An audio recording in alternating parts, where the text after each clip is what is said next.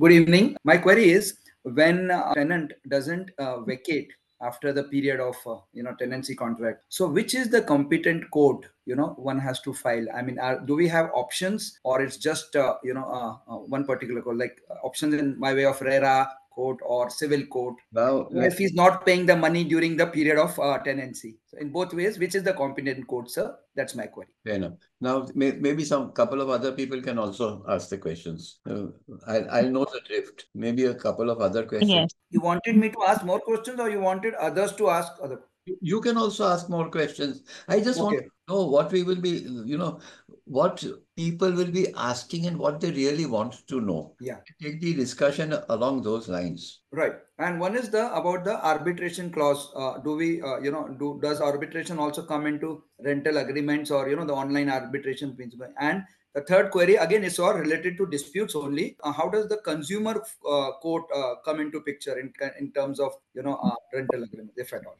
Are you an advocate? I'm a lawyer, sir. Oh, lawyer. Oh, I don't practice, but I'm a law student and I'm doing LLM. So, well, anybody else wants to wants to ask? Yes, sir. My query is that uh, suppose the tenant wants to sell the premises as in trans by transfer of tenancy, then what should be the ideal value? Because the landlord is always looking at, uh, uh, you know, getting a higher period, sorry, a higher amount. So is there some, uh, you know, what is the usual practice? Mechanism for valuation. That's what you want. Yes. And now, anybody else with? Uh, do you have any other questions? Hi, sir, Josh here. I wanted to know how can an illegal tenant, uh, you know, question the title of a landlord? Basically, a tenant who has, uh, who is an obstructionist and has, you know, uh, illegally purchased the tenancy from the original tenant. I, I, I'll answer this one very quickly. Um, a tenant has no right to question the ownership of the landlord. Uh, that's just one, one and something more.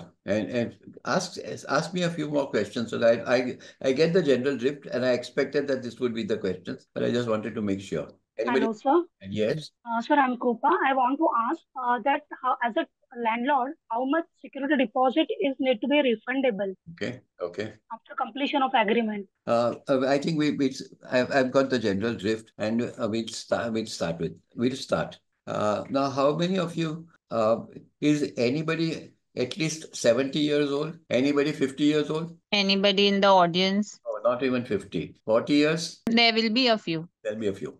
Acha. I I'm going back into the history because uh, I don't think any of the law students or even the lawyers ever write the ever uh, read the instructions to uh, to a to an act. They go directly to the sections and um, that that's about it. Maybe up, up, open up the uh, Bear Act and read only the section which is involved. The first thing that you must understand is the Rent Act is a piece of beneficial legislation. I, I'll have to go back into the history because you will be able to get a lot of a lot of answers to the questions that you have asked. The rent acts are a piece of beneficial legislation. Now, people might think that a rent act is something unique to India. It is not. Even in Western countries, even in New York, there are rent acts. They might be different. They might be based on different, uh, different concepts, different historical concepts. But in India, and we might as well stick to the Maharashtra act because most of them are the same. Um, during the war, that means the Second World War, 1939 to 45, uh, it had affected this country also. And as a child, I remember there were a lot of wards to let, to be let. And uh, parents being sticklers for English always used to joke about to be let. Say, if you're going to let it now, say right let. To be let would, you would be letting it out in the future. Uh, there were a lot of these boards. That means that flats were lying vacant. People had run away from Bombay because of the war, thinking it will be bombed, people will die. Bombay had become a little bit barren, and a lot of lot of flats were lying vacant. In fact, we, my parents, went to a flat like that. Right where I'm sitting is a flat that the family has been occupying since 1922. That's 102 years now. Uh, but in 1941, my parents also moved. 42, they moved into a flat because they were available. The war got over and suddenly there was an influx into Bombay. At that time, Bombay was a big state, including Gujarat. It was the Bombay state, not Maharashtra and Gujarat. A lot of people came into Bombay city and one by one, the flats got filled up. And soon there was a shortage because remember, during the war, nobody built buildings because they would lie fallow. Now, all of a sudden, there is a demand for buildings. A lot of people coming in. The landlords started exorbitant rents. To clamp down on that, the rent acts were introduced. They froze the rents on a certain date that you cannot increase your rent beyond this particular, whatever you have been charging on such and such a day. Now, a lot of tenants would have rejoiced, saying that we are now safe where we are. Along with the amount of rent, they brought in other legislation too, which prevented uh, the landlords from throwing people out. But it's a matter of economics. Fewer flats, first of all, lot of flats, fewer people. Now you have fewer flats and a lot of people. So naturally, demand and supply, the price it would start to vary. Uh, the landlords were naturally wanted to throw people out because the new tenants would be able, they'll be able to cash in on quite a bit. But the whole thing became perverse because there was a shortage. Black money started to change hands. People who were staying in the rented flats, if they moved out, they demanded money. If a landlord found a flat which was free, he would demand a lot of money for the new tenant because remember, he could only charge what was allowed. So what was called the pagri, it actually became a black market. And by the 80s, uh, somebody had calculated that 70,000 crores had changed hands during this period. The landlords were not the landlords were not at a loss because they were making a lot of money out of Pagri. Otherwise, they would have handed over the buildings to the tenants and said, okay, give me a decent amount and uh, run the building yourself. Nobody wants to work at a loss. But they were also making a lot of money. A lot of people had a lot of black money which they would invest into a flat. And uh, things just moved on. As I said, it had become perverse. And uh, in 1999, the Rent Act was amended the rents, they allowed the rents to be increased by 4% a year. But till today, I have not been able to, this is one of the questions somebody has asked. I have not been able to figure out whether it was 4% simple interest every year or 4% compounded. I think it must be simple interest, otherwise compounding it would make it uh, extremely, uh, it, the rents would be extremely high. So right now we have a rent act in place where the rents are increased uh, 4% every year. But in 99, there was a change. Originally, people could stay in a rented place no matter to whom the building belonged. Now, there were a lot of buildings which were owned by the government or semi-government organizations, trusts like the LIC and all that. The new legislation took all that out of the Rent Act, which in effect meant that the tenants over there could be thrown out. There's a separate piece of legislation um, pertaining to these properties. And a lot of tenants were thrown out. A lot of tenants they went to court. The rents were increased i think 8% 8 times for the tenant and 80 times for a commercial property. Something like that. But they have come to some sort of a understanding. It's still going on but it's not as bad as it was immediately after the change. Another change was that since as i said it's a piece of uh, legislative uh, beneficial legislation, any company that was a tenant and which had enjoyed the low rents, if the company had a paid up capital of more than one crore, those companies could not benefit from the Rent Act.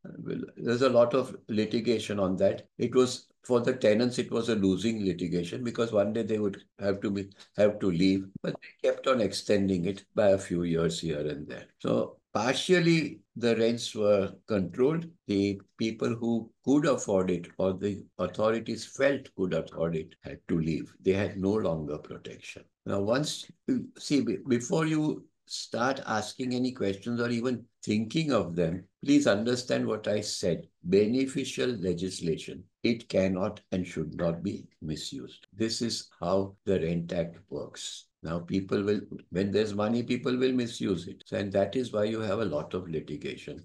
Either the landlords want to throw people out of the slightest. There are so many ways in which they can throw them out officially. One is non-occupation. Second is subletting. The third is um, change of user. There are so many ways bona fide possession. Uh, please remind me about bona fide possession also. I will speak to you about that. It, um, normally, uh, lawyers don't really uh, pay attention to that. So now, when you realize what the legislation is, we shall start asking questions. Remember that it is going to be a fight between landlord and tenant forever. Now, shall we start? Okay, question. The gentleman who had asked me the first question, let him start with it. Right. So I was asking about uh, in case of a dispute between landlord and tenant, and let's say the tenant uh, tenant uh, uh, exceeds the 11 month contract or 11 month period he doesn't pay or whilst he is in the still in the tenancy period he is not paying so which is the competent court was my first question The first question is all all rent act matters. It I'm talking of Bombay. All rent act matters are handled by the small causes court, either Bandra or the Bitala.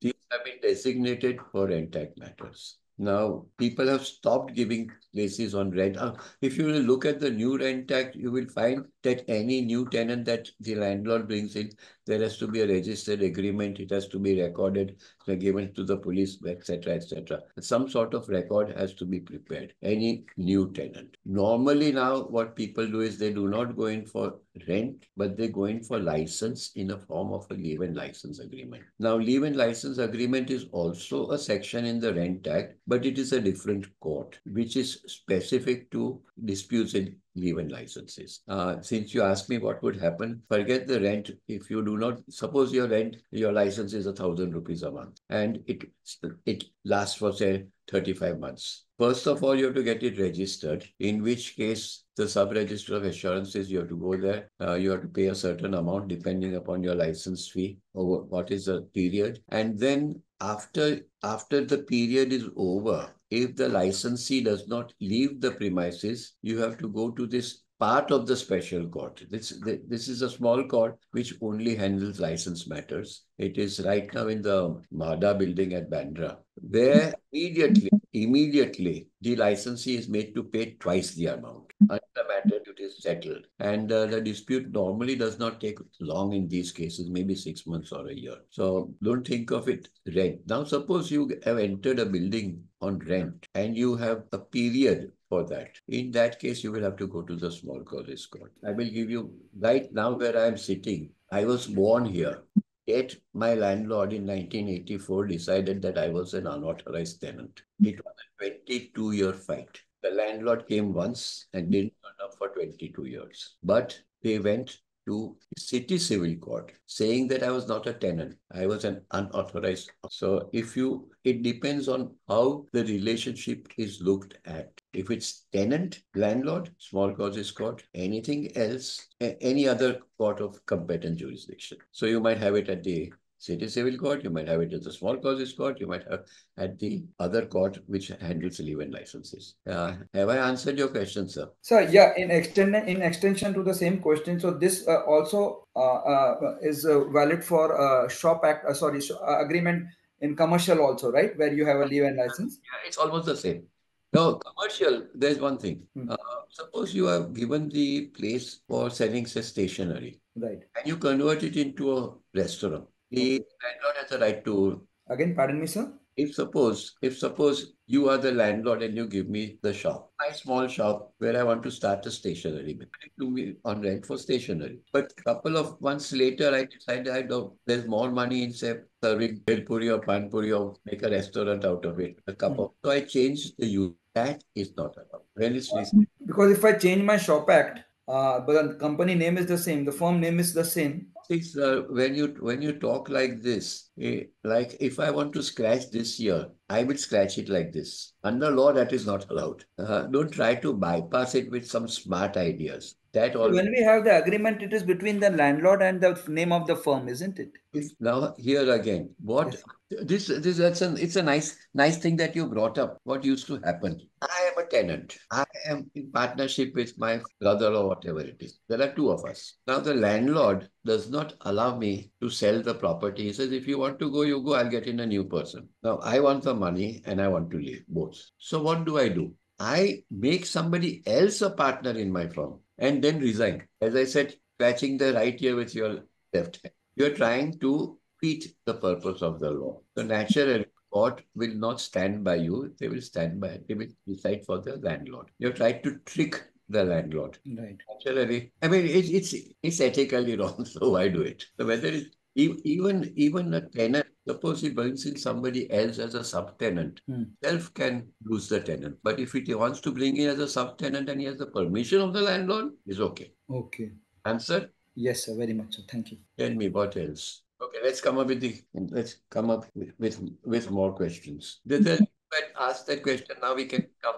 Uh, we can we can, uh, discuss her question in detail. Uh, Good evening, sir. Good Uh, evening. My, my name is Pavan, Advocate Pavan Tikku. Sir, I wanted to ask you a question regarding a tenancy uh, case that is going on wherein a tenant uh, obviously is, is in the small causes court and the building is now uh, maybe going for a redevelop. So, what is the status of the landlord and the tenant in such a case uh, when the redevelopment of the building is in the in the process? I mean, it's going to happen. So, how does this go through, sir? Will he will he get the rent back, or what will happen? So, can we ask him to leave, or what? The landlord is the building. In fact, the very place that I'm sitting right now is the same type of problem. Exactly the Okay, sir. the building is 115 years old. yes. Where I'm sitting here Okay, belongs to a trust. Correct. The tenants, 19 tenants, want to redevelop it. Correct. The trustees are blocking it. Oh, I see, sir.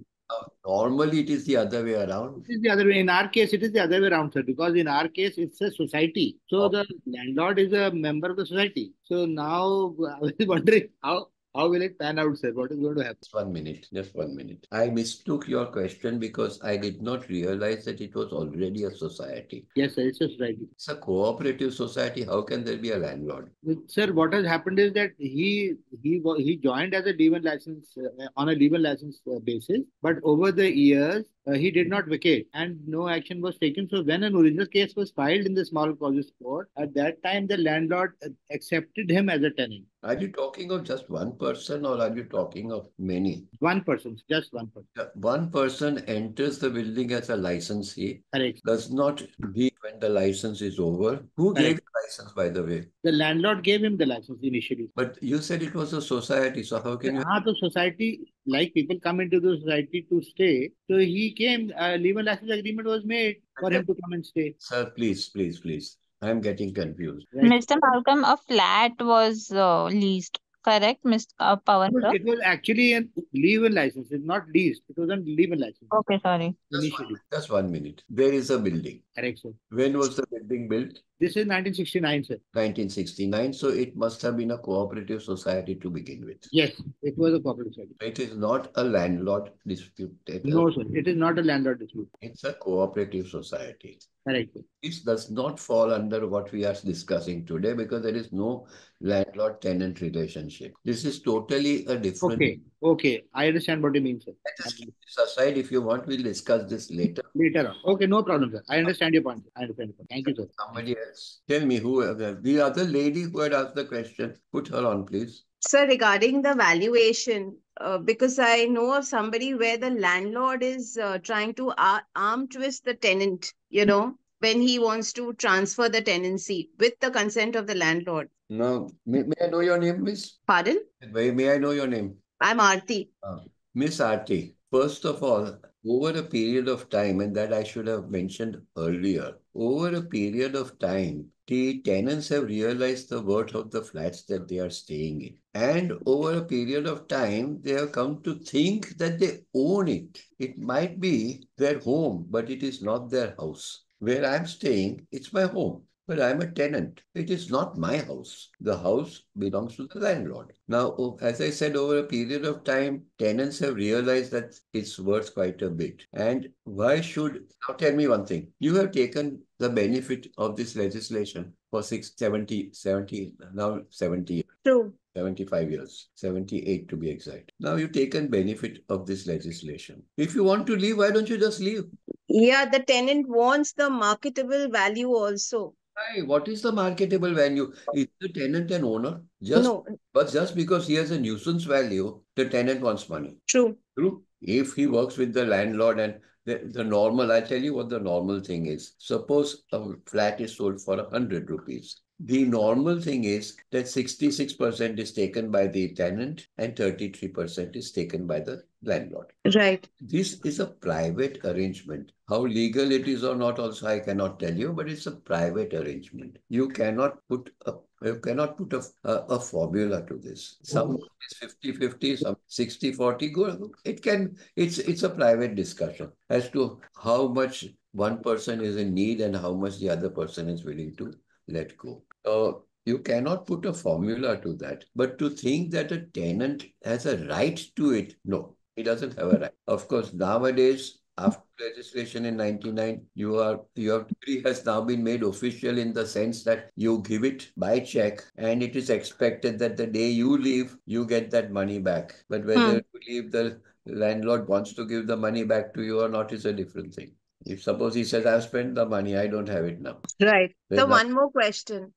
If- And the tenant, I mean, the tenant is outgoing, but it is being sold on ownership basis to someone. No, that you can't do. How he doesn't own it. No, no, with the, the landlord is eventually the incoming buyer or t- he can't be the incoming tenant, but then it is being, so the tenant is releasing all his rights and then it is being sold on ownership basis. Then how would it work? It will not work because the tenant is not the owner. He has no right. What, Yes, I, what right does a tenant have? The right tenant has a right only to stay there and pay the fees, uh, pay the tenancy uh, rent as per law. Beyond that, he has no right. He has no not. He does not even have a right for structural changes. At the most, he can paint his flat, tile it, maybe do a little bit of plumbing here and there, but otherwise, he has no right. okay. There there is, uh, see, this is what I'm trying to tell you that over a period of time, tenants have actually, or that they own it. नहीं नहीं तो मेरा तो पगड़ी का घर है। Things have worked in such a way that you you you can arm twist your landlord. But you don't you you can't do, it as a matter of right. Where, where is the agreement? Who says you own it? You have come in here as a tenant. If you have come in here as a tenant before the rent act there is no agreement. There is no piece of paper. Only thing is you show three months rent receipt and say i'm a tenant. That's about all. So over, as I said, people have started thinking wrongly. There are people who live in tenanted premises. See, what was the legislation originally for? So that people would not, poor people or even people of modest means would not be held to ransom by the landlord. Now, there are so many cases, and in seminars, I have asked them to keep quiet because if the landlord knows about it, they will be in deep trouble. Um, people who stay in tenanted premises may be paying hundreds, maybe one room, two rooms, small room somewhere in a chawl, maybe paying 200, 500 rupees a month rent. They buy flats Yeah. in a cooperative society costing lakhs of rupees.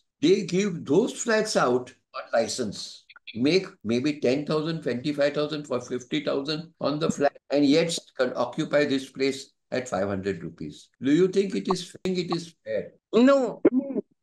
As a uh, owner of the property, no. If I was a landlord, I would say no, it's not fair. But now remember that if the landlord comes to know that you're owning another property in, in the city, not right. I mean, you might own a, a, a flat somewhere in Panchgani or something like that, it's a different thing. But if you own a flat in Bombay or the city where you live in and where you are staying in a rented premises, the landlord has every right to evict you. You have a place of your own, get out. Don't take advantage of the rent time. So it all depends on whether you're speaking as a tenant or you're speaking as a landlord. Okay? Yes. Thank you. God bless you. Chalo, what ma'am? Come come up with some. Please, please. Hello. Yes. Yeah, good evening, sir. I asked you earlier the same question. How much uh, security deposit is refundable after the completion of agreement? Why I ask you, sir? Because I uh, noticed that certain amount of uh, certain things of my house is destroyed. So I understand afterwards, means the whole things is destroyed in kitchen. Right, After completion of agreement, I uh, I come to know about this. uh, speak a bit slowly and uh, a little bit away from the mic. I really Okay. could Now you can hear me, sir. slowly. Don't don't shout. Uh, a little bit softer and Okay.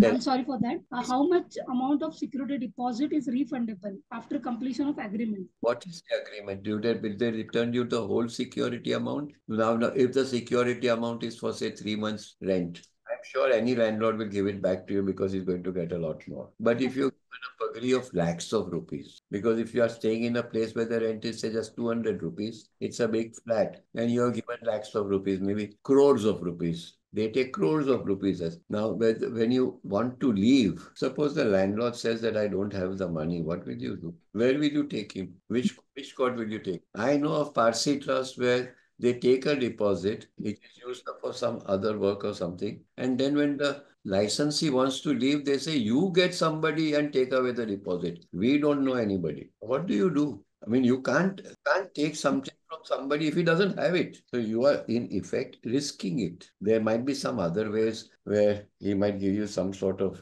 guarantee, some some I mean money held in escrow maybe, which he doesn't trust and only takes the only takes the interest out of it. Now as I told you, we personally know, and again in a Parsi colony, 3 crores and 4 crores of rupees are given as a deposit, where the flat rent might be just 500 or 700 rupees, maybe a thousand. Now, on 3 crores rupees, you are losing minimum 3 lakhs per month. So technically, your rent becomes 3 lakhs 500 rupees. Do you understand? Yeah, yes. That is what you are actually paying. Now, when you want to leave, you want that 3 crores of rupees back. Mhm. But the landlord has used it up for some other things. He doesn't, he will say, continue until I make the money. Then I will give it to you. Where will you go? What what right do you have over, over the money that you're given him? And even if there is something, some agreement, he doesn't have the money. What will you do? He will say, okay, take my flat, which may not be worth that much.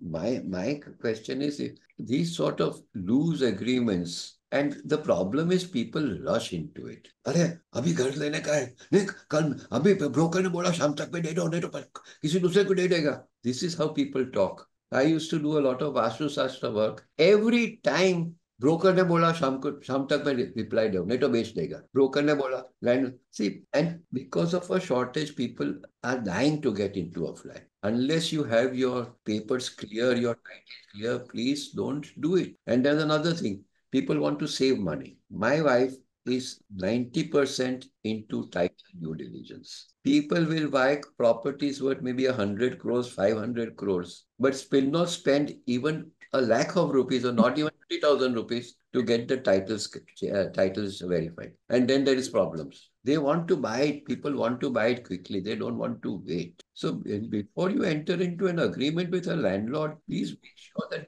document is vetted by a very good lawyer and make sure that when you want to leave, you get your money back. Otherwise, where are you going to go? Best put the money in escrow. Tell him that you can take the interest out of it. The day I leave, I take my money back. Okay. That would be the ideal situation. So he gets a three lakhs. He gets three lakhs of rupees every month on interest. I'm taking it at 12% interest per month. He gets hmm. rupees and his 500 rupee rent. And Mr. Malcolm, uh, but in her case, she is the landlord and the tenant damaged the property. In the kitchen, she found that lot many things were damaged in the kitchen, and now uh, she's asking how much security deposit should be refunded. We- let, let, let the lady tell me how long has the how long has the tenant been whatever it is whomever you call it how long has that person been there For three years. how many years Three Three years. years. Three years now when they were changing things in the kitchen or whatever it is you stop them Because I'm not aware whether they are changing or not. you are the landlady are you right Sorry. you are the landlady are you am i correct Yeah, yeah. Is not your duty to take care of your property?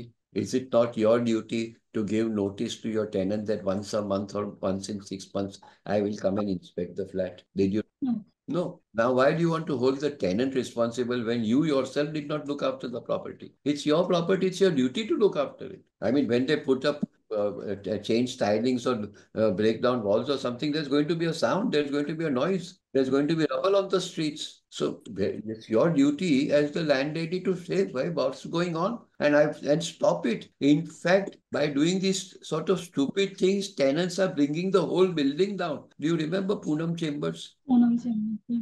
Why did it come down? Because some, some faltu fellow who thought himself to be an electrician etched the bottom of the columns to conceal the electrical wires. Of course, we about that there was water leakage also. Who's responsible for that? People who own the building have to be responsible. Every landlord has a right to check the premises, not, no, not to disturb them, but once a month, once in six months, he has a right. You get it?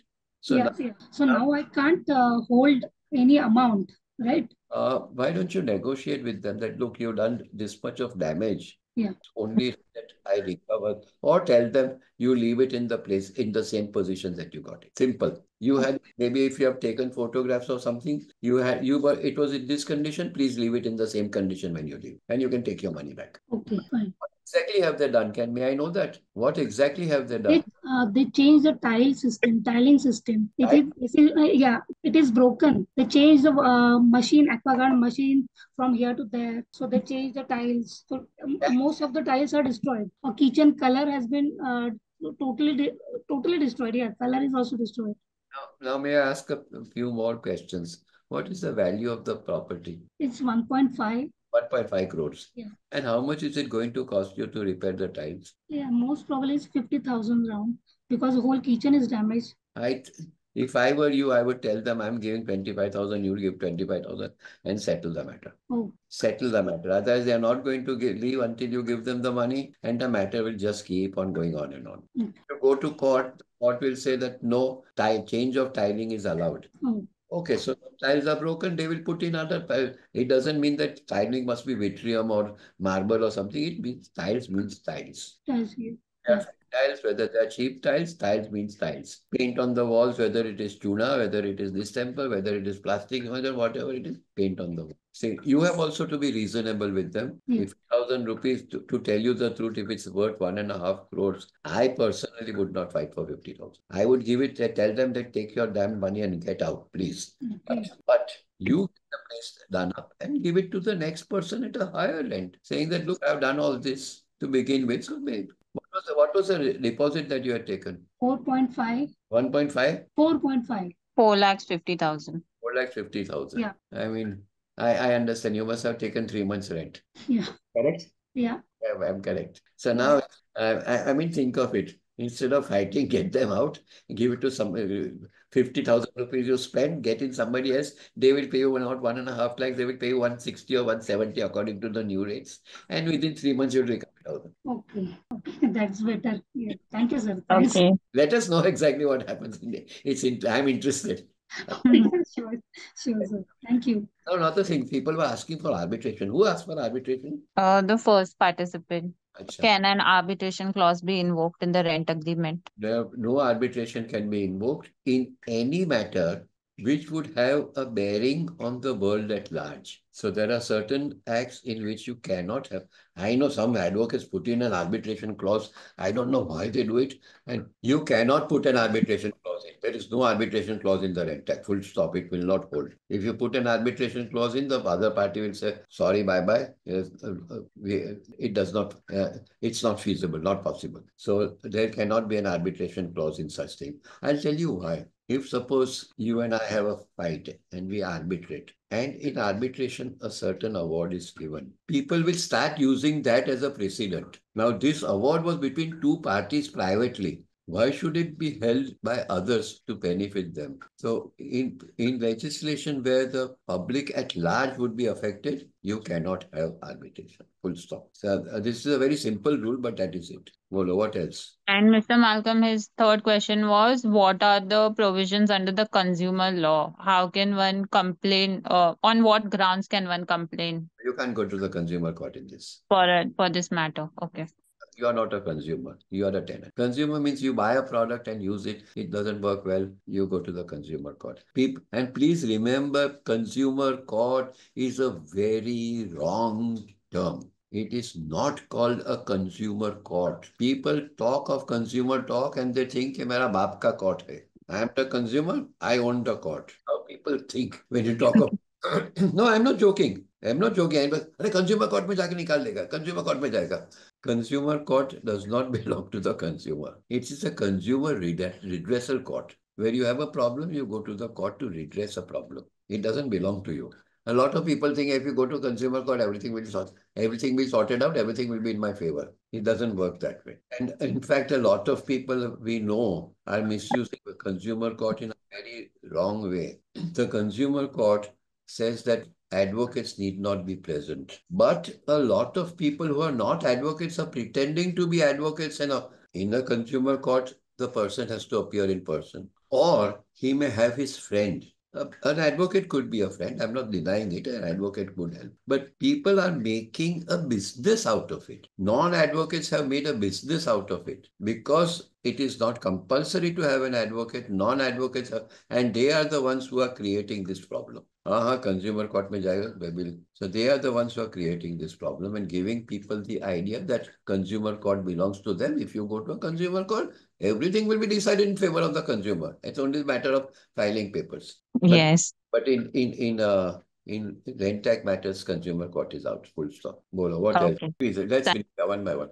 Normally in these sessions, people come up with their own personal problems, but we have to take a larger picture. Yes, yes. Good evening, sir. In the event of death of the original tenant, uh, is the landlord under obligation to transfer the tenancy in the name of the uh, person who is residing with the original tenant? And if he doesn't do so, what are the what can the have you read uh, agreed party do? Have you read the law? No, sir. I can tell you the section, but it's very clearly mentioned over there. If Mr. A dies and there is somebody living with him, not necessarily being in the home at the moment a fellow dies, but somebody who is residing with him normally, like his wife, his children, maybe his uncle, aunt, nephew, whatever it is. If the rent receipt is in the name of a. And somebody tells the landlord that Mr. A is dead. This is his death certificate. Please now prepare the rent receipt in my name. The landlord has to be informed within 90 days of the death of the original tenant. It is compulsory on the landlord to now prepare the rent receipt in the name of the tenant, of the person who was staying. I won't say son or daughter, whatever it is, the relative who was staying with him. That's the law. It says relative. Now, how many degrees of separation and all that have not been answered. But I would say normally under the old Hindu laws, it was four degrees of separation. So whether it is four degrees of separation or very close relatives, they can lay a claim to the tenancy. It's it's it's fair because there might be a person who doesn't have children. His nephew stays with him. He has been staying with him for a long time. So it goes to the nephew or the niece or whatever it is. Usually it goes to the wife if she's alive or to the children. Now, here you have to be careful. The law is not very clear on that. It says with the relatives staying with the deceased at the time of the deceased death. Suppose there are four children. To whom do you transfer the rent receipt? You could transfer it to four. The Lord allows you to do that, but why should he? Then four will ask for four will ask for uh, another 14 people to be included. So normally they like to give it to only to one person. But who is that one person? A smart landlord will create friction between the family members. He tells one or two of them go to court and get the order. So they will go to court and the landlord does not have to transfer the rent receipt for 10 years, 15 years, whatever it is. That is what landlords normally do. But if there is no litigation, then the landlord is bound to change the rent receipt within three months. If he does not, he has to pay a fine of 150 rupees a day just to force him to do it. Does that answer your question? It's in yes, the, just uh, read the I won't remember the section, but read it. It's in the book. Hmm? Thank you, sir. God bless you. And, what, and that gentleman whom we discuss this matter with, sir, make sure that the relatives don't fight. Otherwise, all of you will lose. Next. Uh, good evening. Good evening. Good evening. Uh, this is Maitri here, sir. Uh, I wanted to know how the law of uh, adverse possession, which is under the Limitation Act, justifies itself in terms of, you know, acquiring title over a period of time. Like, I absolutely agree with you, sir, when you said over a period of time, tenants have begun to realize that they own the house property. But how does that um, sync with, uh, or does it not contradict with you, the law of, or you, principle of adverse possession? You know how adverse possession works? You say adverse possession. You know how it works? Who told you about adverse possession, first of all? How did you come to know that there is such a thing as adverse possession? Tell me, how did you come to know that there is such a thing called adverse possession? She went on mute, just unmuting her. Maitri ma'am. But yeah, Mr. Malcolm, through petitions, judgments, Judgments. Yes, uh, sir, I've studied it under the Limitation Act. Is it, is it, do you, you have a problem, a specific problem of your personal problem? No, not at all, sir. Fair enough. Now then we'll, we'll go ahead with it. See, what is Sir, adverse? I'm a solicitor. You are a solicitor. Yes, sir. Come now. you, you, you have passed the solicitor's exam. Yes, sir, I have passed. I have not practiced um, in uh, rent law matters, of course, but I find these questions very interesting on, you know, just the principles of law. Why don't you ask people in your society to tell you about this? So Because- you, the best to have you here. Don't, don't, you need not, don't need not go further on that. I know. Okay, all right. What is Yes. that? No, it's a very interesting subject, so we'll talk about it. What is adverse possession? Now, remember, most of the laws that we follow are tripods. And somehow or the other, it makes sense because there is nothing more stable than something with three legs. Four legs, five legs, it, it can always be unstable. But three legs, if anybody knows of plane geometry, three constitute a plane. So remember this thing about three legs. Most of our laws are on three legs. Now, adverse possession. Miss Maitri and I are in. Yeah. Miss Maitri owns property. Miss Maitri is lazy. Miss Maitri does not care. Miss Maitri has a lot of money and says, Why, well, I have property. Bapoo Malcolm is a smart guy. He occupies the property, knowing fully well that Miss Maitri is not going to come here. Now, how do I occupy the property? I stay there. I put up a board. I pay the taxes. While Miss Maitri is far away, maybe in Canada or California or whatever it is, all of a sudden, Miss Maitri, her children realize that "Well, we have got fantastic property over here. So they come here. By that time, 20 years have passed. So, Malcolm, please get out of here. The property is mine. No, they say, no, it's ours. We've got papers. Says, please go. I have been sitting here for 20 years. That means your period of limitation. I have been holding this property continuously for more than 20 years. And the third thing is people know about it in rem. If you can meet these three points, you can get adverse possession. Shall I repeat it? Do you want me to? Do you want me to? Yes, sir, if possible, it'll be great. Three things. I have one. Yes, sir. You must be in possession. Somebody dem- uh, uh, wanting adverse possession, uh, you must be in continuous possession. Hmm. And you must be in possession for the rest of the world to know. You cannot say that I, was, I went there once in 10 years and therefore it is mine. You must be in continuous possession. The world should know that you are in continuous possession. Yes, sir. So involved will include the owner. I didn't get it. So the so the owner, the actual real owner should also be well aware that this person is has been in continuous possession, right? No, if the owner comes or no to know about it, he will throw the person out. If Maitri knows that I'm sitting there, she will throw me out in 19 years and not make it 20. But she has come after 21 years. Oh, yeah, okay. But one day, suppose I have come here on the 1st of January 20 years, 19 years ago, and now Hmm. 20 years. And she comes and tells me on the 31st of December, get out. I have not completed 20 years. Okay, okay. But another thing, government property, it is 30 years. Longer. Yes, yes, sir. Correct. Okay. So a lazy owner, what you rightfully said. Okay. Thank you so much, sir. I, you. I had a case, not now, but in 81 or 80, 81, I think. A property, beautiful property, two acres next to Bhushi Dam in Khandala. Okay. No one had been there for 70 years. And a friend of mine was granted that property. I don't know, auntie must have died, whatever it was. When we went there, the company had built a tower right in the entrance. 70 years, nobody had gone there. Yes, yes, sir. Yes, sir. Clear now. So we- Thank, we got- you. Thank you. Anyway, we got the property back. It cost us 600 rupees. Bolo, what else? Okay, Mr. Malcolm. Next participant. And Mr. Malcolm, you had also, yes, sir, please go ahead. Hello, my name is Rohinton. Good evening. Uh, I have a t- tenant who uh, we filed a case in the small causes court about 40 years ago. The case went on for about 10, 15 years. We won the case, then he went in appeal, then he won the case. And now it has been lying in High Court. Some relative who is also a co-owner had filed a case in the High Court and it is languishing there for now more than 10, 15 years. So we want to settle the matter. We want to tell him we'll accept him as a tenant. However, for a 2000 square foot flat in South Bombay, he's offering a rent of 200 rupees, which was the rent maybe 50 years ago. And we believe that there's 4% increase. But can I ask for 4% increase for the last 40 years? What about the taxes? Can I recover? Because my taxes for his flat is more than the uh, 10 times more than the rent he's willing to pay. I, I. So, what is my recourse? First of all, if you are paying more taxes, I am sure that making an application to the court, at least the court will grant you that extra amount immediately.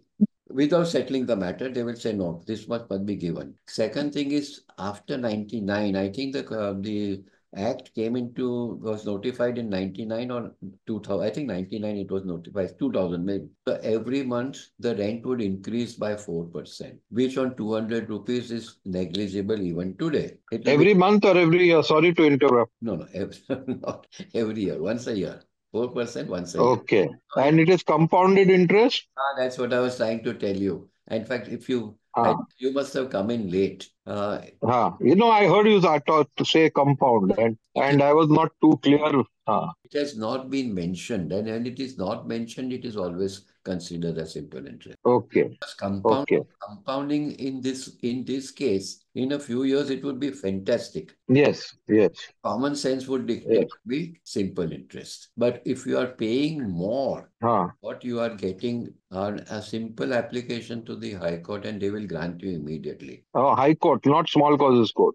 Because you are now in the High Court. Ah, no, we want to abandon that application. We don't want to pursue that case in the sense that it is getting us nowhere. It is just hanging fire, and our lawyer tells us that it may be another 10 years by the time the uh, case is taken up. So we want to settle with him, and uh, we want uh, whatever rent he owes us. Uh, can I claim it from 99 onwards? The, because he says he's paying in court. He's paying some uh, rent of 200 rupees in the small causes court or something he's been paying. And last two, three years, he has stopped paying, even to the court. Now, if he has stopped paying to the court, go back to the small causes court and say that he has not paid a victim. He has to be evicted. If a person does not pay rent, he has to be evicted. But unfortunately, there are many poor people who cannot even spend 50 rupees on rent. So the court. No, no, he's a multimillionaire. He has got uh, he has got big cars worth 20 lakhs and 40 lakhs. So there is no question of him being poor. Uh, he's,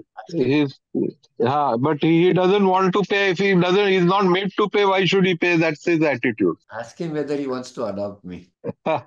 no, he's, he's he must be about 40 years old only, so it'll be difficult. Anyway, no, but what I'm saying seriously, sir, that uh, uh, is there any way I can, you know, I from uh, 99, as you say, from 99, can I add simple interest of Yes. uh, 4% till the current time? And can I also claim the taxes, back taxes for so many years, years, because the taxes for the entire building. I'll have to uh, uh, divide it by, say, if he owns, if he's occupying one fourth of the building, I'll have to divide it by 25% and ask him to pay. Please do that immediately because technically Huh. you cannot ask for any amount after three years. There's a limitation. Oh, so in this case, I won't be able to ask for from 99 onwards. Ask for it. Nobody, you can, huh, you can always ask for the moon. Nobody huh, from asking. huh. Whether you are successful or not is a different thing, but ask. Of course, never ask uh, amounts that are exorbitant. And now the courts are coming down very heavily on that. You know, in Huh. matrimonial cases, the man earns uh, 50,000 rupees and the wife wants 10 lakhs of rupees every month. I mean, Uh, no, no, no, no. We don't want to be irrational. We want to be fair with him. But unfortunately, we believe he's making fun of the landlord by offering a pittance, you know, No. as a rent, which your outgoings, your outgoings, he is bound to pay. There is no doubt about it. You have to it's an old cess building. old cess building. uh, How old is it? Uh-huh. Oh, it's about 100 years old. I'm, right now, I'm sitting here in a building that is 115 years old. Ah, there you are, like that. Yeah. Uh, right now, So, over here. yeah, so I can legally, I can only enforce that for the last three years, is it? Uh, Yes, and I mean he But can, but can I calculate the 4% increase from 99? yes, four percent increase on. But to tell you the truth, on two hundred rupees, if you are counting after twenty five years, it will become three hundred. Uh, no, no, no. In the first year, it will be, say, 204. In the second year, it will be 204 interest on 204. So, like that, it will keep. Oh, sir, that will be compounding. That will be compounding. And Okay. the law does not say whether it is to be compounded or simple interest, so it will be presumed. Uh, okay. And uh, these, uh, we, this is a family of owned building. So, the family members were staying in the building and they were also paying rent. As family members, they were also paying rent for the place. So, do I, I uh, so I'm treating them as one of the families that people have died. All the people have died, but the servants have continued staying there and are refusing to vacate. Can I can I go against them in the small causes court or in the high court? What should I? is a small Which cause. is the appropriate court? Small causes court. They are unoccupied, uh, they are un- un- unauthorized uh, occupants. Yeah, yeah, they are unauthorized occupants. Yes, the original original occupant was the uh, owner of the part owner of the building, as well as uh, paying rent. Just one So minute. she was a tenant. One minute, just one minute. Only when the this relationship is landlord and tenant Huh. can you go to the small causes court. I told you about my own case. Correct, correct, correct. No, no. What I mean is, suppose there are uh, five or ten co-landlords. You know, everybody having a share in the building, but not all the landlords are staying in the building. Now, the building has to be maintained also. So everybody who who's not staying in the building feel why should we pay rent? You know, to a in a building, or why should we pay towards maintenance of a building which we are not occupying? So the people who are occupying are paying rent, and we are issuing them rent receipt, and they are periodically paying rent. So, although they are co-owners or they own one portion of one part or one percentage of the building, say one tenth of the building is they own, still they are paying rent. See, it, when it when it becomes too complicated and when there are so many owners, so many tenants. Uh, where, Huh. where is this building? In South Bombay, Where? It is uh, huh. it is around uh, Bombay Central. Bombay Central. Now, if if if all you owners get together with the tenants, the Huh. best I mean, I'm not talking as a lawyer, by you. Yeah, I understand. Yes. As a layman, the best thing is to Huh. go in, go in for redevelopment. Everybody will be happy and make it into a cooperative society or condominium and finish. Otherwise, this matter will keep on going on and on. But whatever you have to recover, please do it immediately because the longer it takes, the lesser you will get. But uh, when the ser- servants are continuing to stay, uh, do they have a right or can we throw them out? You have, Uh, you have to go to the court and get them thrown out quickly. How long have they been staying there? about one year, we have filed, uh, we have approached a lawyer and some cases being filed now. Yeah, we must have filed it in the city civil court. Uh, No, no, in the small causes court under the Rent Act. That means you are con- uh, confirming that they are your tenants. No, no, the lady who was occupying was the tenant. This was a, this is a servant lady who's staying there. When you take a servant to the small causes court, you are taking, Uh-huh. you are making him a tenant. Why are you doing that? The small No, we are we are saying that there is a there was a tenancy relationship between the original tenant and the landlord. Now the te- tenancy has expired, then the person who's occupying should vacate. That is Yes. what uh, we are taking. Is the person who is occupying a relative or a servant? No, no, is a servant. And the servant, how can you take him to the causes court? As I told you, Uh, I myself was taken to the city civil court saying that I'm an occupant, even though I'm a family member. I was born here. My birth, Ah. birth certificate. Uh, no, I understand, but the servants have been servants there for like almost 15, 20 years, like that, 10, 20 years. I get it. So, No, just, uh, just one minute, one minute, one minute, one minute. Uh, three years back or so, there is a judgment by Justice Oak uh, in the Supreme Court. That if you are a tenant, you are an occupier, if you are a manager, if you are this, that, and the other, you have no right, zero right. correct, correct, Only correct, comes only to the landlord. correct, has any other right. correct. So what I would suggest is you please speak with your lawyer. Maybe you should not go to the because if you go to the small causes court, you are actually saying they are your tenants, and then they f- ask Yes, lots of rights. yes, yes, yes. No, the, for one year they have not been paying any rent either, I don't and take they are saying, cost. no, No, we are not taken any rent. We are not taken any rent. We have not taken any rent. We have not taken, and nor have they offered to pay. But uh, they are staying there saying, uh, ब- भाई ने सा- ब- भाई ने बोला कि उनका सामान संभालो तो हम लोग सामान संभालने के लिए इधर रहे and they are refusing to vacate. And in fact, they have filed a police complaint against us. They will do. I mean, they will also go to a lawyer who will tell them. Yeah, yeah, yeah. So, so our our lawyer advised us that uh, this was a tenancy which has expired, and this is like an illegal tenant. They are staying there uh, illegally. So we uh, there was a certain term they used uh, for some uh, gratuitous tenant, gratuitous tenant or something. What a gratuitous tenant is. No, I Mr. I, I really there are uh, other three participants. Can we move quick with this query, this particular? would suggest that you Sorry. uh, don't go to the wrong court, you'll be in trouble. Okay? okay, okay. Thank you. Thank Next participant. Yeah, good evening, sir. This is Harbinder Bindra, advocate, and I'm 50 years plus. So, you know, that's another data point for you. Now, sir, let's get down to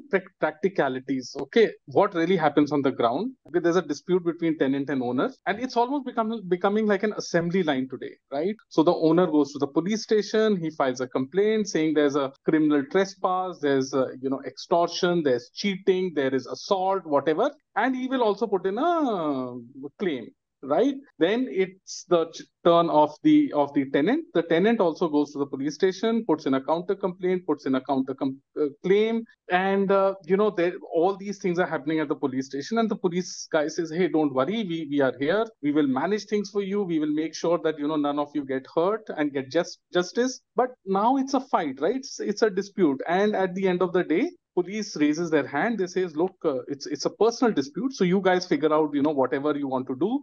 We are not in, we are not in the business of uh, you know uh, getting money uh, that that is not our purview. Now sir the point is that if we look at the current leave and license agreement it very clearly says that uh, you know that the owner can get the tenant evicted without any recourse to law. One okay. minute, just one minute. Sir, you are a lawyer. Right. The leave and license, it is not rent, it is not a tenant, it is like licensor and licensee. Correct correct. And- and and it does not come under transfer uh, transfer of property act it comes under the easement act. Okay so that's another advantage. Now sir you see my client can be the tenant or my client could be the uh, the li- licensor or the licensee both of them could be my clients right now if the if the licensor is my client then i will tell the client hey listen you can actually get this guy evicted without any recourse to law so the question is how do i do it No, now no, if, no. if What do you mean by recourse to law? Are you going to hold them by the neck and throw them out? No, sir. That's exactly that's exactly my question. That the leave and license very clearly says Go the licensor can get it evicted without any recourse to law.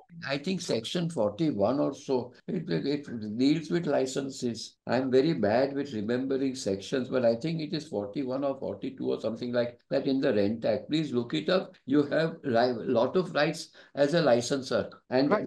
This is this is in the leave and license agreement, which is a standard format given by the government of Maharashtra. Okay, so I can't change anything in it. but So how so once both of them have signed this uh, agreement, the licensor should be able to get the licensee evicted. Now the other point is that if licensee is my client, then how do I make sure that he is not ev- evicted because of this particular clause? Just, just one minute, just one minute. I'll read it to you. Disposal of certain applications, section thirty-nine. You read that onwards by the competent authority. So if it's, let, let us look at it this way. You have a licensor and a licensee. Correct. No rent, a license fee. I hope you have not written rent. Yes, it's license fee, no rent. No rent, it's license fee. Now, if the person does not leave, you have a right to go to the court. You cannot take the law into your own hands. You cannot hold him by the scruff of his collar and say, get out. It's not possible. Otherwise, uh, there'll be a jungle law. But sir, the leave and license agreement very clearly says without recourse to law, and the format is given by government of Maharashtra. It was Without, not given by me. no, no, please, it cannot be without recourse. अरे sir मैं आपको बता रहा हूँ I'm telling you that is the whole beauty of it and I Correct. don't so that's the beauty of it The agreement that says without recourse to law. recourse to law As a, yeah as a lawyer, you will, I mean, no agreement which says that you can cop out. That means you can yes cop out is a valid law. Sir, my question is very simple that look, it's a standard format. Both of the parties have signed it, uh, you know, in front of a registrar. Okay, whether it's done offline, online, but uh, you know, it's signed by, and it's the format is given by the government. We, we, we, we make our own, the, see, people do not want to spend money. Hmm. If you are spending money on a license where over the years you might be spending maybe 50, 60, 70 lakhs. Hmm. People are not willing to pay me 25,000 rupees to 150, not 25,000 rupees to make a proper agreement. You know what? They will go to Central where there are a lot of a lot of uh, typists. Yeah. Standard, what they call a standard leave and license agreement in 50 Right. Right. they feel very happy कि lawyer को हमने पैसा नहीं दिया है तो बर में बना के लेके आया but when the problems start then they then they will have to pay the lawyers lakhs of rupees. So, but sir, my question is that this leave and license agreement today is standardized. Okay, it is. It is. The whole thing is online. I can't do much No, no, no. unless and uh, today today is the Fri- what is it? Friday today. Thursday. Thursday today. Uh, last Saturday I think 31st or something 30th of- we went through a leave and license agreement which we have been making for the last 10 years. Same client. He has been changing. People have been coming in and going out. So for we have been doing this for we make the leave and license agreement. If you are a lawyer and if you want uh, if you want a so format of that we'll be glad to share it with you Sir, I'm saying today it is available online. The whole procedure is online. Don't use it because it's not a valid agreement why can't you make your own No, we can make our own, but I'm saying 99% is done online because it's very convenient. No, online registration is a different thing. Sir, even the register LNL agreement is online. The The only If the agreement is wrong, please don't do it. Full stop. Yeah, sir, all that you need to put into that agreement because it's online, na? By the in the government website. All you have to put in is the names, the PAN numbers, the DVN license, uh, the license fee, the security deposit, the term, etc., etc. Security. I'm afraid you have not been informed correctly. Just less than a week back, we have done that leave and license with this client for the nth time. We make it and it is accepted by the register. So why do you ask me that you have to uh, compulsorily go into something that is online? But it is not compulsory. I'm saying 99% people do online. It's only very few people who say, you know, I will go for my own customized one. That's all that I'm saying. Just this morning, I read. Just this morning, I read. Mm. Everybody is doing it and it is wrong. You don't have to follow them. You do what is right. And if you are the only person who is doing it right and all the others are wrong, so much let them be. If you want to do something correctly, please don't look. And this online thing is, is a nuisance, full stop. You, you, you are a lawyer, you have to use your own brains and you have to use your own capabilities and make the proper document. And no two documents can be the same. It's full stop in that. Otherwise, you get into trouble and you, as you told me, every every contract will then go into litigation. How can that be? Impossible. But sir, ये तो government का format है ना मेरा थोड़ी ना है Don't use it. Who's asking you to use it? If you want to s- cut corners and use it, it's a different thing. But then you are cu- uh, you are cutting your own feet. You got a sword over your neck all the time. There's no law which says that you ca- you have to use that format. That see, it's like this. Cooperative societies. There is a st- there is a model act. Doesn't mean that you have to follow it. You might have to change it. You have to take the permission of the register and change it. So please don't tell me that you have online. There, pro- Are online wills are available and not a single will will work. Some chartered accountants have been putting up online. Uh, sir online will मैं आपकी बात मानता हूँ is done by a private party ये तो leave and licence तो government का है वो मेरा थोड़ी ना है I- मॉडल भी नहीं है वो वो तो कहते हैं जी ये ही है I'm sorry, but we are not using that format and we have been Okay. successfully not using it. So please make ठीक Thank you. Thank you, sir. Thank you. What's the next one? Hello. Good evening, sir. Can you hear my voice? Yes, tell me. Uh, good evening, sir. Uh, my name is Sumit Chavan. Uh, I have a small query. We have a parcel of land uh, in Lonavala over which we have some chawl constructed by our grandfathers and all those things. It is 100 years old chawl. The rent is only 4 rupees per month. There are six tenants. Now, few of the co-owners, they have surrendered their rights to developer and uh, now the developer is not doing anything. And I am not aware whether the developer is even collecting that 4 rupees rent or not. So in that case, uh, what are the disadvantage as a owner to me if the developer is not uh, collecting the rent? Just, just one. it is a meager 4 rupees. Just, just forget that four rupees or four hundred is not the question. Uh, what are you? I am a landowner. You are the landowner or the chawl owner I am the landowner. or the chawl owner? Uh, no, landowner as well as the chawl owner also, sir. No, just one minute. In in India, the concept is different. You can be a landowner and a building owner, or you can be a landowner and not the building owner, or you can be the building owner and not the landowner. This is not England, this is India, where the law is slightly different. So tell me, what are you, a landowner or a chawl owner? I am a landowner, sir. I can, can I just? Uh, You are a landowner. Yes, one. sir. Now, somebody, maybe your forefathers, because you said four rupees rent, it might be one of your forefathers. Yes, He sir. Allowed somebody to build the chawl, right? Hmm. How is it that you are collecting rent? Sir, uh, if you allow me, I will just explain it to you.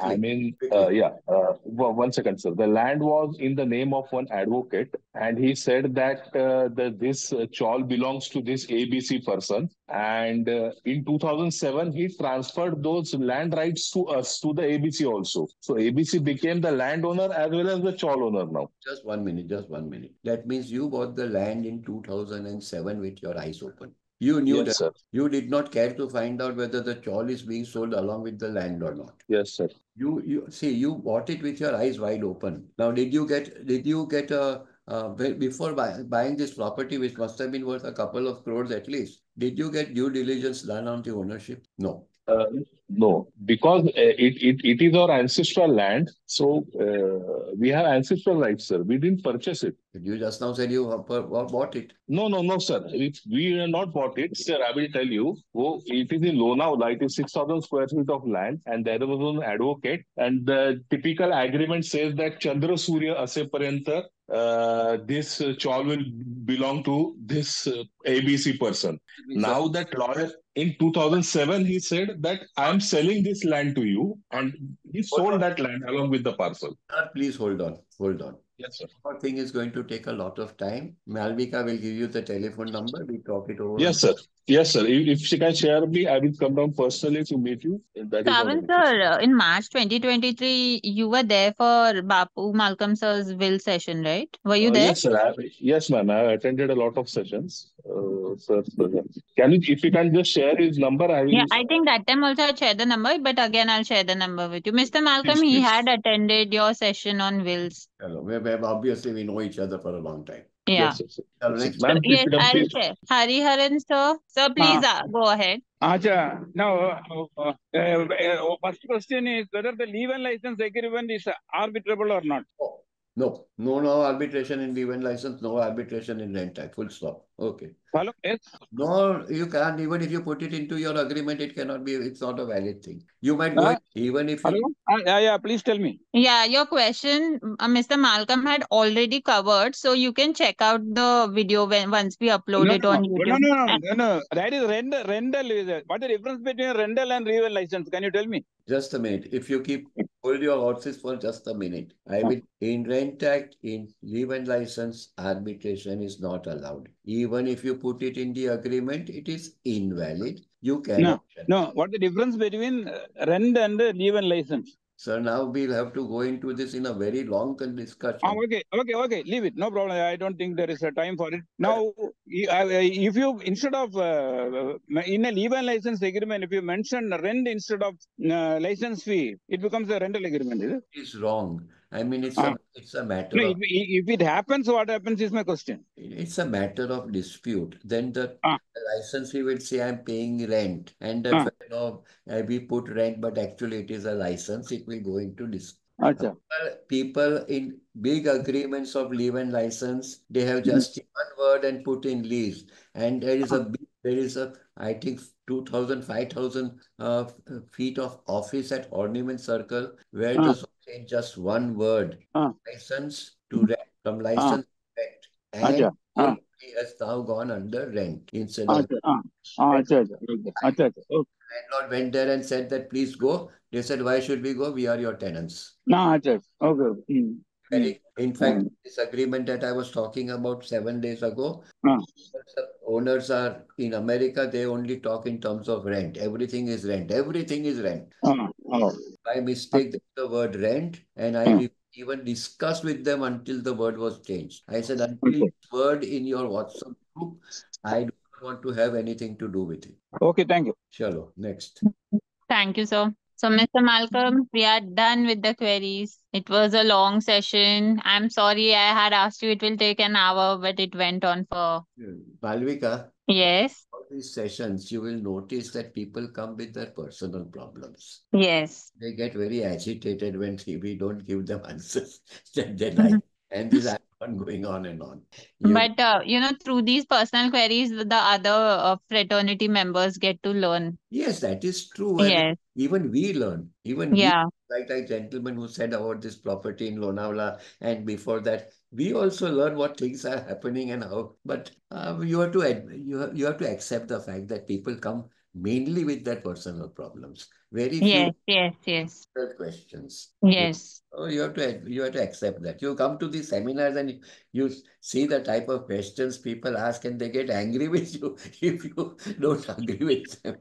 Totally something. To, I remember once, once, some, once somebody said it should be this way, that. should-" Finally, out of desperation, somebody said that, look, sir, it is in the constitution. Then change the constitution. For one man, you have to change the constitution. Hmm. This is how people react. Change the constitution, he says, just because he did not like something. Yes. You have to learn to accept it. You have to learn to accept it. Chalo, what else? So, Mr. Malcolm, we'll conclude the session. Fair enough. Thank you so much for patiently addressing the queries. And I'm, I apologize that it went on for so long. Malvika, I'm glad it went on for so long. Great.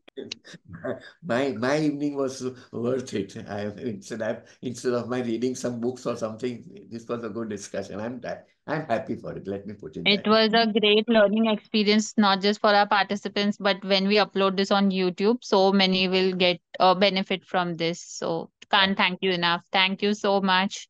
God bless you. Bye.